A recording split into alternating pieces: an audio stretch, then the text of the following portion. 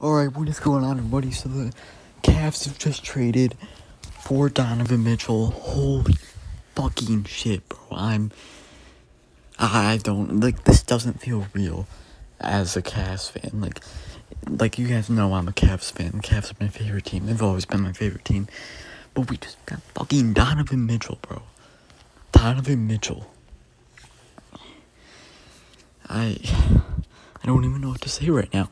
Um, so yeah, the the Cavs traded um Collin Sexton, Rory Markkanen, Ochai Agbaji, three future first round picks, and two uh pick swaps. But okay, guys, I like this doesn't feel real.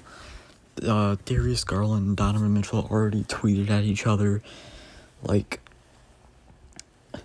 This is just insane. I, I have no words.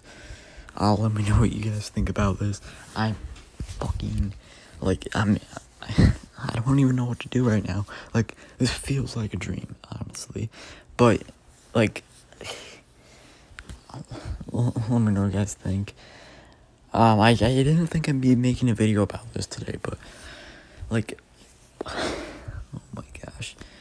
Um, there probably will be a college commitment video uh today and 200 sub special probably tomorrow. But yeah, oh my gosh. Um, I'll see the next one. Peace.